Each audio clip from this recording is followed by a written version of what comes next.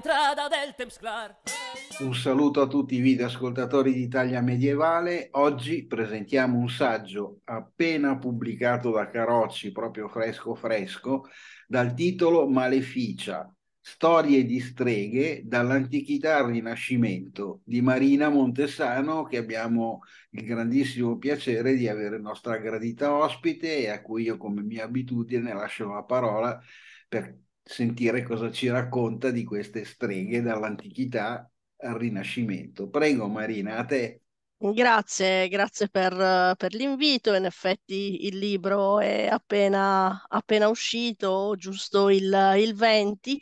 e si tratta della traduzione di un uh, libro che era già uscito pochi anni fa, nel 2018, in uh, Inghilterra per uh, l'editore Paul Grave, che poi abbiamo con Carocci tradotto in italiano, era stato scritto originariamente in, in inglese. Um, e spiegherò subito il, il perché e che abbiamo quindi pensato che potesse avere un interesse rappresentare una novità anche per il mondo italiano, diciamo, interessato alla storia in generale, alla storia culturale, alla storia della stregoneria e anche alla storia medievale che è rappresentata in ampia parte, ma questo non è un libro soltanto sulla, sulla storia medievale. E dicevo quindi perché prima in inglese, perché la storia della stregoneria, che magari è un tema che incuriosisce tanti, però poi di fatto è studiato abbastanza poco e in Italia um, entra nell'interesse di una piccola schiera di modernisti, di studiosi della prima età, della prima età moderna, uh, però di fatto sfiora soltanto il, uh, il Medioevo. Questo in parte dipende, è chiaro, da un fatto meramente cronologico, anche se uno degli stereotipi che girano intorno alla storia della stregoneria è che la stregoneria sia un fenomeno uh, medievale e questo sappiamo che non è vero. La caccia alle streghe è un fenomeno che riguarda il Rinascimento e che riguarda uh, l'età moderna. La prima età moderna, sì, in parte, ma non soltanto, perché è un fenomeno che va avanti e si esaurisce soltanto nel corso del del Settecento, quindi siamo a quel punto nella piena età moderna, non certo nel Medioevo. Allora, perché un medievista o una medievista si interessa alla storia della stregoneria? Perché uh, i presupposti culturali uh, di cosa è la stregoneria per uh, il, la cultura europea e perché si innesca il fenomeno della caccia alle streghe, ecco, questi precedenti noi li rintracciamo nel, nell'età medievale e dunque mh, studiare, come spesso succede, soltanto l'età dei processi e non conoscere ciò che mh, ha dato il materiale ecco, per questi processi rappresenta naturalmente un gap importante che andava colmato. E tuttavia uh, questo non è un uh, libro, uh, diciamo, non è una storia generale della stregoneria, mm, perché di queste ne sono uscite alcune, mm, alcune più datate, altre meno, comunque mm, per chi si volesse fare un'idea di, del, del fenomeno in generale, ci sono testi che non per niente sono scritti però generalmente da modernisti, non italiani, ma che sono stati tradotti anche in, uh, in, Italia, penso al testo di Levac, al testo di Beringer, quindi queste storie generali ci sono. E questa non è invece una storia generale. Uh, mi era capitato alcuni anni fa, ormai mi sa circa una decina di anni fa, di pubblicare un uh, breve libro con l'editore Salerno che si intitola Caccia alle streghe uh, nella collana degli, degli Aculei Uh, nel, nel, quale affrontavo alcuni dei temi generali della storia della stregoneria, però sempre con un occhio soprattutto al fenomeno medievale, cioè alle origini,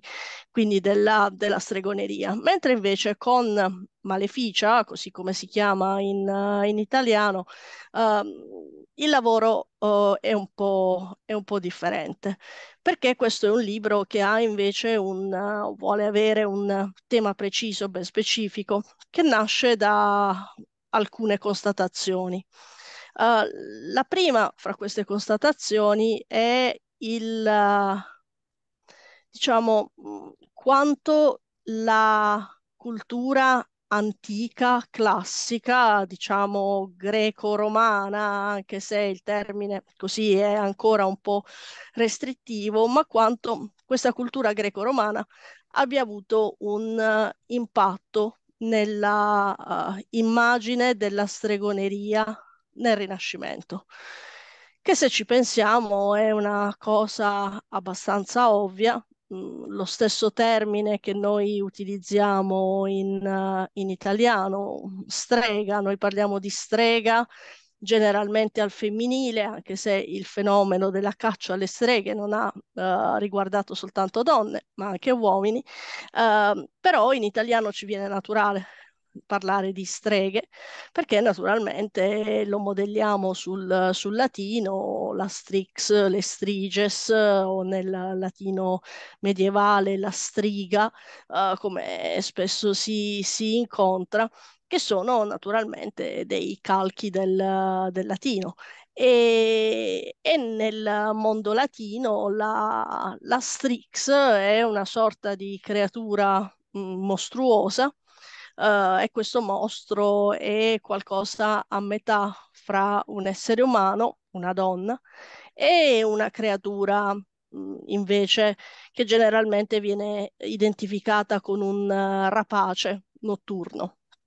come un gufo, ad esempio, una civetta, non per niente, poi uh, quando si faranno le classificazioni uh, in età moderna del, degli animali, secondo delle famiglie, no? con dei nomi latini, in effetti tutto questo gruppo di rapaci notturni viene chiamato non per niente strigide, eh, derivando proprio appunto dalle striges del, del, mondo, del mondo classico. Quindi ecco, già la lingua è una prima traccia uh, che ci mostra come ci sia una filiazione. Uh, questa filiazione però non è soltanto uh, dei termini, non è soltanto lessicale, ma è invece una filiazione più profonda, perché eh, dicevo è un dato in effetti che a dirlo sembra anche abbastanza logico, nel Rinascimento si dà una straordinaria importanza uh, alle fonti del mondo uh, greco-romano, alle fonti classiche, mh, mm, e questa riscoperta, che non è una scoperta totale evidentemente perché il Medioevo le aveva già conosciute in larga parte molto bene, ma con un approccio differente. Uh, erano più delle favole, delle storie che non invece delle verità degli antichi, mentre invece proprio il peso uh, che si dà a queste fonti nel Rinascimento, uh, secondo me è uno degli elementi uh, che formano l'idea della stregoneria. Attenzione, è chiaro che questo non significa che tutto il fenomeno della stregoneria si può spiegare in base a questo, solo che altri elementi la crisi del 300, uh, gli anni difficili che seguono, uh, la nascita di una concessione diversa del demonio uh, a partire dalla tarda scolastica in poi. Ecco, tutti questi sono dei temi che la storiografia sulla stregoneria, la caccia alle streghe, aveva inquadrato eh, già molto bene in passato, mentre invece questo rapporto fra il Rinascimento, cioè il periodo in cui nasce la caccia alle streghe, e invece il, l'età classica non era stato studiato adeguatamente. In tutto questo, evidentemente, l'età che noi chiamiamo Medioevo ha un ruolo fondamentale perché è l'età della trasmissione eh, di una serie di eh, concetti, di idee che poi nel Rinascimento verranno reinterpretati in una determinata chiave. Quindi quello che io faccio in questo libro è partire con due capitoli iniziali che sono dedicati uno alla Grecia e l'altro a Roma, uh, alla Grecia e a Roma per le ragioni che ho appena detto, mh, mm, anche se le striges sono, così come il termine, insomma, è latino, uh, ci sono delle figure nel mondo uh, classico, nel mondo greco, anche pre-classico, che avranno poi una straordinaria fortuna. Pensiamo alla Lamia, ad esempio. Uh, la lamia che viene descritta dalle fonti greche come probabilmente una donna che originariamente era una madre che aveva perso tutti i figli e allora per questa perdita, dopo questa perdita, dalla caccia diventa un mostro divoratore dei, di bambini delle altre donne. Um, però la lamia allo stesso tempo noi lo troviamo, la troviamo nelle rappresentazioni medievali, a volte come un mostro, a volte invece come una donna splendida, quindi naturalmente c'è una elaborazione poi medievale del mito e tuttavia uh, in, età, in età classica in età, scusatemi, eh, rinascimentale, eh, di nuovo emerge la lamia eh, con un chiaro riferimento a questa origine che noi abbiamo visto, cioè il tema dell'infanticidio. Uh, perché l'infanticidio è uno dei temi fondamentali della, della stregoneria. Um, e su questo è forse opportuno fermarci un attimo perché io finora ho parlato di stregoneria, di caccia alle streghe, in che rapporto sono questi due elementi fra di loro, non soltanto nel libro naturalmente questo viene specificato, ma diciamo anche più in, in generale. Spesso quando si parla di stregoneria, noi naturalmente ci portiamo dietro un bagaglio che è anche fatto di letture contemporanee, di film, eh, di una certa storiografia magari un po', un po facile sul, sul, tema, per cui pensiamo alla strega come a una donna che manipola le erbe, che fa la guaritrice, oppure a volte che fa l'ostetrica, eccetera. Um, tutto sommato, spesso anche come una figura positiva, perché in questo modo positivo è stata poi reinterpretata uh, nel corso degli anni, soprattutto del Novecento una rivalutazione della strega come simbolo della libertà femminile contro le costrizioni del patriarcato. Uh, ci sono appunto delle elaborazioni poi culturali più vicine a noi che danno una determinata immagine stereotipa che resta ancora nel sentire comune. E tuttavia, quando noi parliamo di stregoneria, parliamo di un fenomeno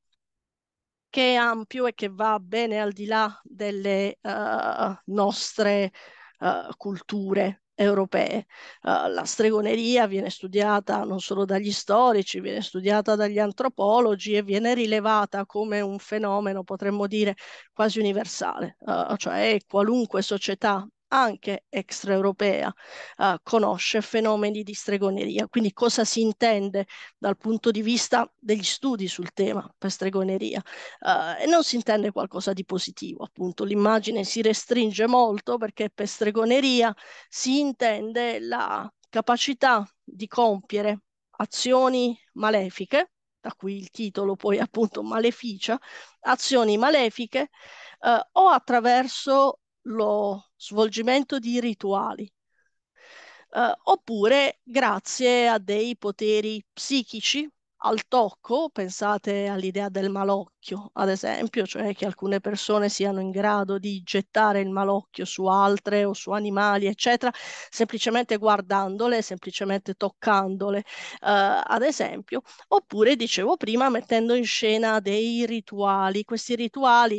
eh, sono dei rituali di nuovo che attraversano le epoche, pensate alle immagini ad esempio. Uh, la, noi ritroviamo uh, in un uh, celebre passo di Orazio che mette in scena eh, una delle sue figure più importanti, quella di Canidia,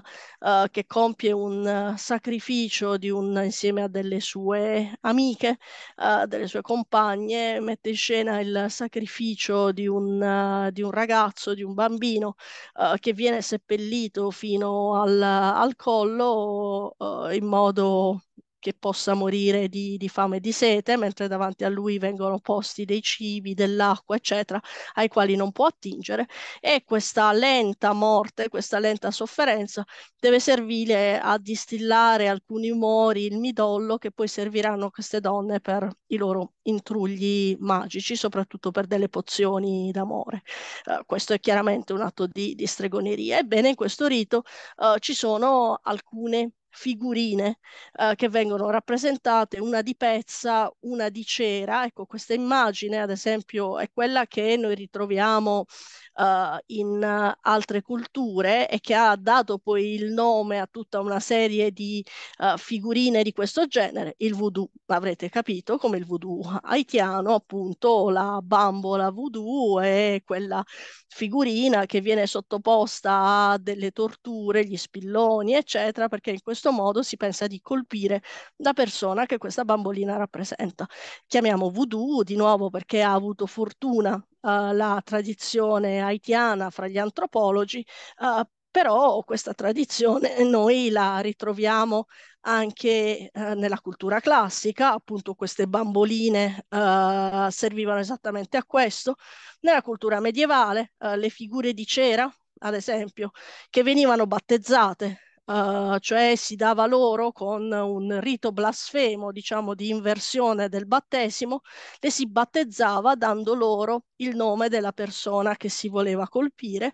e poi uh, sciogliendo queste immagini di cera, distruggendole, naturalmente si andava a colpire la, la vittima del, del rituale stregonico. Ecco, questo è un esempio tipico, perfetto direi, di stregoneria, cioè una magia rituale atta a fare il male. Naturalmente uh, quello che noi invece abbiamo non di universale, ma come un fenomeno tipicamente europeo, la caccia alle streghe, Uh, questo appunto è un fenomeno che riguarda la nostra cultura e non invece quelle più, mm, diciamo, che conoscono la stregoneria anche fuori dall'Europa. E quando parlo di cultura europea, naturalmente eh, possiamo inserirci anche Salem, gli episodi del Massachusetts, eccetera, perché in effetti hanno per protagonisti dei coloni europei che si portano dietro la loro, la loro cultura. Quindi sono in ogni caso delle, degli esempi di cacce alle streghe europee, anche in questo caso. E che cosa c'è di diverso? C'è di diverso una costruzione demonologica che parte appunto dalla tarda scolastica, ma che poi avrà dei caratteri suoi propri che vediamo nella trattatistica sul, sul tema. E mm, in altre culture certamente ci sono degli episodi eh, antistregonici che però non hanno mai le, la caratteristica delle cacce alle streghe organizzate, legalizzate con un sistema giuridico in appoggio, con dei processi, eccetera, che invece è un fatto tipico della nostra cultura europea. Allora, proprio per questo, proprio per l'importanza l'importanza che il fenomeno ha avuto, di nuovo, anche se noi tendiamo accademicamente a trattarlo come qualcosa di marginale, in realtà è stato un fenomeno centrale sotto molti punti di vista, quello processuale, uh, i tanti processi e le tante condanne a morte che ci sono state, soprattutto fra tardo medioevo e nel pieno poi della, dell'età moderna, ma anche per il dibattito uh, che si è creato intorno alla stregoneria, intorno all'idea dei poteri dei demoni e quanti questi poteri potessero essere passati uh, agli esseri umani. Ad esempio si dibatteva se il volo magico uh, fosse un dato reale, come alcuni hanno sostenuto, soprattutto uh, in età moderna, oppure non fosse da considerarsi, uh, come la maggior parte anche dei teologi avevano sostenuto, come una pura illusione diabolica, esattamente secondo il pensiero di Sant'Agostino, ad esempio, che resta poi vivo in tutto il, il Medioevo e anche oltre, naturalmente. Ecco, quindi che in intorno a questo dibattito non si spendono soltanto uh, dei, come a volte si pensa, dei cupi inquisitori, dei frati ignoranti e così via, tutt'altro. È il centro, diciamo, se volete, anche il meglio della cultura europea uh, che si spenderà nel dibattere su questo. Pensate che uno dei grandi sostenitori uh, della realtà dei poteri stregonici è stato Jean Baudin, uh, cioè il massimo interprete del pensiero politico uh, del, del, tardo Cinquecento, uno dei fondatori della, dell'idea di Stato assoluto, uno dei teorici principali dello Stato assoluto in Francia, che pure insieme a queste opere uh, meglio conosciute ha scritto una Demonomanie des sorcières, Demonomania delle streghe, dedicato proprio a, a questo tema. Quindi questo per dire che non si tratta di qualcosa di marginale, ma si tratta invece di qualcosa di centrale nella cultura europea. E proprio Jean Baudin, eh, tra i vari elementi che porta uh, a sostegno delle sue uh, teorie sul perché bisogna pensare alla minaccia stregonica come a qualcosa di reale e nemmeno soltanto a una illusione diabolica, um, c'è proprio, lui porta come prove proprio quello che scrivono gli antichi a riguardo. E mh, mm, cita le fonti, le fonti classiche, il modo in cui queste fonti parlano della stregoneria, dicendo che tutto quello che dicono torna con le confessioni dei processi uh, perché nei processi le donne gli uomini che vengono condannati per stregoneria confessano alcune cose e queste cose ci sono già uh, nelle fonti uh, classiche. Così come ad esempio nella stessa epoca, cioè quindi dopo la scoperta, gli primi scritti sulle culture che si incontrano nel, nel Nuovo Mondo, alcuni fra i conquistadores rilevano dei fenomeni di stregoneria locali e dicono assomigliano a quelli che noi abbiamo in Europa. E allora intorno a questo si crea una sorta di teoria universale della stregoneria, per cui la stregoneria esiste da secoli, se non da millenni, esiste anche al di fuori dell'Europa e questo la costituisce come una vera e propria minaccia per l'umanità che quindi va combattuta duramente con ogni mezzo a disposizione. Allora diciamo e concludo che lo scopo del libro libro, se vogliamo partire dalla fine, eh, perché la fine in un certo senso è Jean Baudin, il pensiero del Cinquecento, è proprio questo, uh, cioè cercare di dare un um, retroterra culturale alle affermazioni di Jean Baudin. Come mai lui può dire Uh, e lo dice a giusta ragione, leggendo capirete il perché, uh, come mai è possibile che queste fonti uh, abbiano davvero delle coincidenze con quello che i processi dicono a riguardo della stregoneria? E in che modo si è formato un, uh, un mus culturale uh, che ha portato a tutto questo. E allora il periodo di formazione è naturalmente l'età medievale il Rinascimento. È in questo periodo che si elabora la cultura classica in un certo modo alla luce di nuove interpretazioni e si arriva appunto a dare poi un corpo reale alle accuse di stregoneria. Eh beh, è un argomento comunque affascinante anche perché accompagna, secondo me, l'uomo dalla sua apparizione fino ai giorni nostri. È, è, un filo sottile che non si è mai interrotto, eh, che a volte è stato combattuto, altre volte è stato utilizzato. E, eh, giudicato in vari modi perché a volte le streghe diventano guaritrici, a volte le guaritrici sono viste come streghe. La cosa singolare è che è, è molto più frequente la figura femminile di quella maschile, soprattutto diciamo per quello che riguarda la, la stregoneria in Europa, perché invece per esempio in, nei, nei riti voodoo sono quasi sempre uomini, no? Sì. Anche questo è, è un po' particolare. Eh.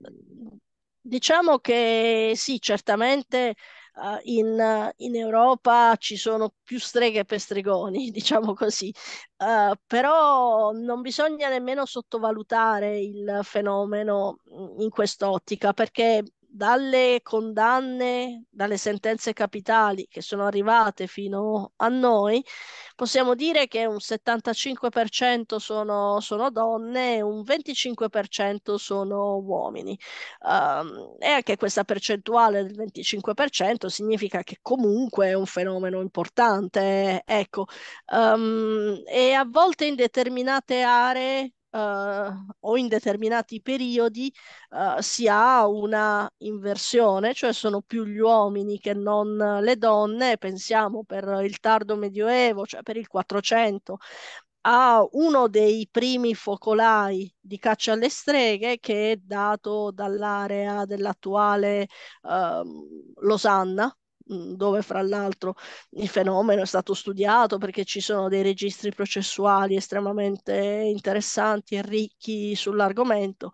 e quindi in quest'area inizialmente a partire cioè dagli anni 20 uh, il uh, fenomeno riguarda più uomini che non donne, cioè ci sono più condanne di uomini che non donne che vengono identificati come un po' spesso succede nell'area francofona, almeno sotto quello che riguarda il nome, con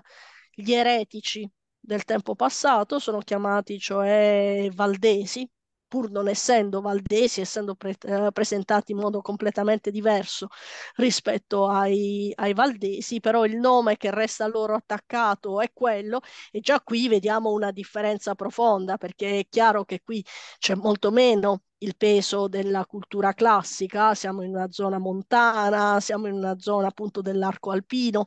veramente differente rispetto a come il fenomeno si manifesta inizialmente in Italia, dove si manifesta soprattutto nelle aree eh, dell'Italia centrale, l'Umbria, la Toscana, con un bagaglio culturale completamente diverso e alla luce di una cultura umanistica completamente diversa. Eh beh, sì, sì, sì, sì, decisamente va studiato e per poterlo studiare e per poterlo indagare a dovere bisogna comprare il libro di Marina. Quindi io ricordo il titolo che è Maleficia, fra l'altro bello questo titolo, Storie di streghe dall'antichità al Rinascimento di Marina Montesano, che abbiamo avuto il grande piacere di avere in nostra gradita ospite, appena pubblicato freschissimo di stampa da Carocci. Quindi io Marina ti ringrazio. Grazie, grazie a te, grazie a Italia Medievale come sempre per l'ospitalità. È un piacere ospitarti e anche starti ad ascoltare. Io Grazie. ricordo a tutti voi di continuare a seguirci sul nostro sito che è www.italiamedievale.org dove trovate tutte le nostre videopresentazioni e arrivederci alla prossima videopresentazione. Grazie ancora. Grazie.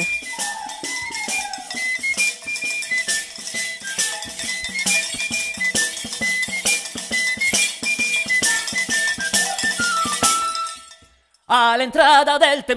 Eia. Per gioiar recomenzar Eia. E per gelos irritar Eia. Vol la regina mostrar che le sia amorosa Alla via, alla via